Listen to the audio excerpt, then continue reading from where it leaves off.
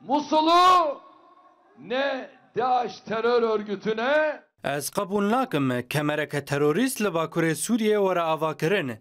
Bi vê gotinê û bi mebest PYD û YPG, Serokkomarê Tirkiyê Recep Tayyîp Erdogan gefeke din li Rojavayê Kurdistanê kir.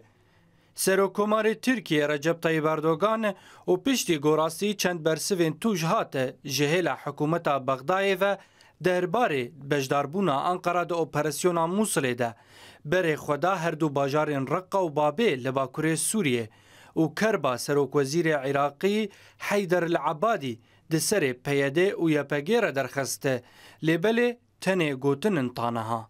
Erdogan got ku artêşa welatî wî tucaran qebûl nake, kemereke terorîst li ser sînorê wî ji hêla DAIŞ'ê û PYD'ê û YPG'ê ve were avakirin û bi gef soz da û got ku artêşa azad dê bi piştevaniya Tirkiyê bajarê Babê li bakurê Sûriyê kontrol bike û piştre dê hêzên YPG ji bajarê Minbicê derxînin û amaje kir ku Enqera tu caran hesaniyê di mijarên wisa de nake.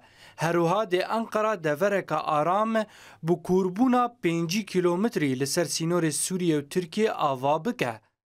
Serokkomarê Tirkiyê ew yek jî anî ziman ku operasyona Martala Feratê dê di bajarê Minbicê re jî derkeve. Da ku hêzên Yekîneyên Parastina Gel YPG û hêzên Sûriya Demokratîk vegerînin rojhilatê Çemê Feratê û li gorî gotina Erdogan divê ku DAIŞ'ê ji tevahiya bakurê Sûriyê têk biçe, nexasim li Reqayê, û ew yek weke nameyekê ji hêzên Yekîneyên Parastina Gel û Hêzên Sûriya Demokratîk her wiha Amerîka re bû.